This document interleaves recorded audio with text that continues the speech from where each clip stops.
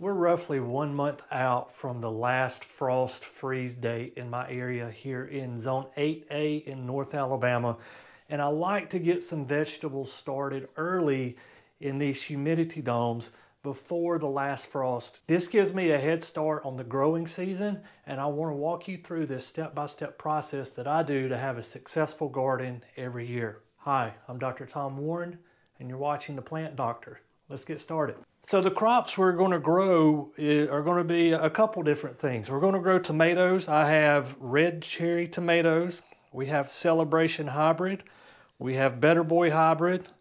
We have Rutgers. And we have Chef's Choice tomatoes as well. So we've got a myriad of tomatoes. We've also got a few melons that we're going to be growing. I've got cantaloupe. So we have Hale's Best. And then I have Crimson Sweet Watermelon.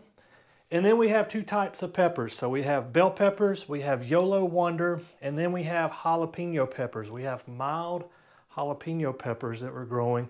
And then also one of my favorite summertime vegetables is going to be squash. And so we're going to get some squash growing as well. These are all things that you can get started in your home about 30 days before the average last frost date in your area. One way you can figure out the last frost date in your area is simply to Google last average frost date, and then the city and state that you live in. It should pop up. For me, it's April the 11th. So what I like to do is get to April the 11th, look at the 10-day forecast, and if they're not calling for a frost, I'll go ahead and put stuff out. If they're calling for a frost or the potential of a frost, say from April 11th to April 20th, what I'll do is I'll hold off until that cold snap passes and then put out my vegetables. But let's walk through the process of seed starting indoors.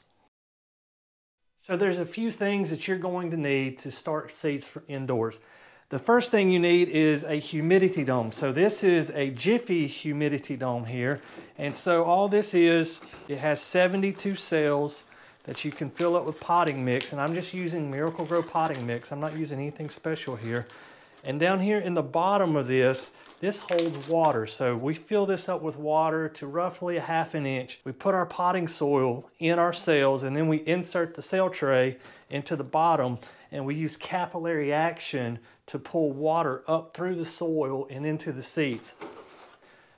The dome helps hold in that humidity and it's going to ensure we get a higher germination rate than we otherwise would.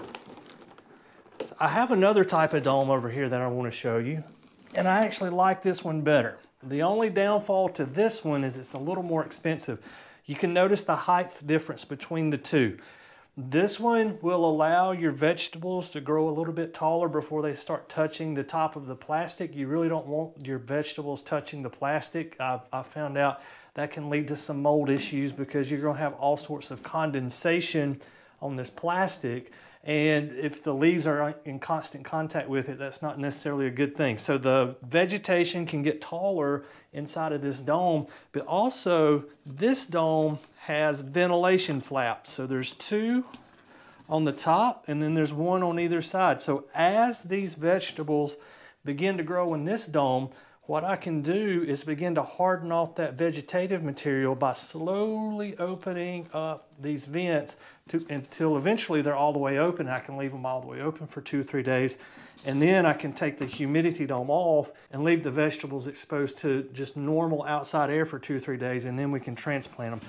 I like this setup a little bit better. However, these are somewhat hard to find. I got this one off of uh, greenhousemegastore.com, if I'm not mistaken. These little Jiffy ones you can pick up at Lowe's or Home Depot. They're a whole, whole lot easier to get a hold of. If you're growing peppers, one thing you're gonna need is a heat mat. So a heat mat just plugs into the wall and as the name suggests, it just generates heat. So we put this underneath the tray and it, the heat rises up through the tray, warms up the soil so that those peppers will germinate. The warmer the soil temp, the better germination we're gonna get on these peppers. So we'll use a heat mat for the tray that's going to have the peppers in it. You're going to need some sort of labeling system, so you're going to need some labels and a Sharpie or a pencil or something like that. So my daughter off camera, she went ahead and made us some labels here that we're going to be using for this demonstration. So we're just going to take this off. You need something to kind of poke a little hole into the soil. I like using this mechanical pencil here because it has a grip and I just go down until the grip touches the soil. So we just make small holes for our seeds and then we just drop a seed in the hole and cover it up. And it's that simple. So I'm going to start here with the Chef's Choice tomatoes. And I'm not going to plant these in rows going this way. I'm going to plant them in the short rows going this way. So technically we're looking at columns here because they're going up and down relative to how me and you are looking at this. So we're just going to do one seed per cell.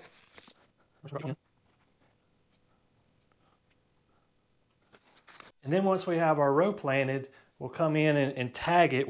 So one of my students' fathers is actually going to bring his tractor out and we are going to till up a spot beside the greenhouse at the college and we're going to have a little student community garden this year. I'm really looking forward to it and this is the very beginning of that. And so what we're planning to do is plant things on 21 day increments. This will be the first row of crops going in. And so we're going to have these initial seedlings come up and 21 days later we are going to repeat this process. The reason we're doing that, we don't want all our fruits and vegetables at one time. So if I were to plant all Rutgers tomatoes today, they're all going to be ready at the same time. I'm going to be overrun with Rutgers tomatoes. But if we stagger when we put our seeds in, we can stagger when we get fruit. And that's the goal of this garden that we're going to be doing this summer.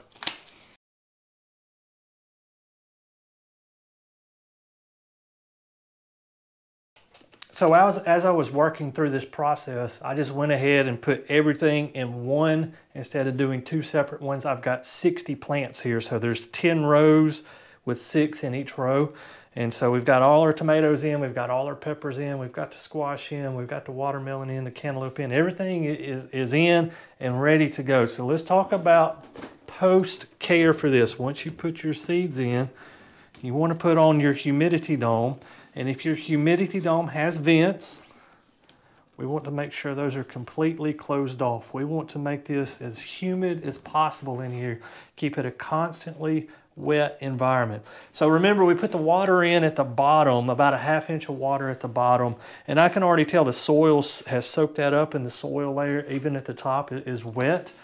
So what we're going to do with this from here we're going to put this on my back patio that faces due south and we're going to plug in the heat mat. I'm going to check this tomorrow and what I want to see is this. I want to see condensation on the dome. I want to see that my soil is wet and moist and that's what you need to look for as well. If you don't see any condensation on your dome, if you don't see any uh, evidence of your soil being moist, you need to add some water. And all you got to do is pick up one of the corner of this, the tray inserts and pour some water in there and you're good to go. Let's say you don't have a, a south facing porch. Where can you put this? It really needs to be in a south facing window. If you want to do a little bit of legwork, really the best thing to do with this is going to be in the mornings, set it outside, leave it outside all day. If it's going to be cold at night, say you're getting down at below 40 degrees, bring it inside. You want to keep this warm, okay? The warmer it stays, the better. So here in about 10 to 15 days, we're going to see all sorts of vegetation popping up in here. And within 28 days or so, this stuff's going to be ready to plant. We're going to treat these just like plugs. We'll be able to pull them out, stick them in the ground, and they'll be good to go. Guys, as always, thank you for watching The Plant Doctor. And until next time, happy gardening.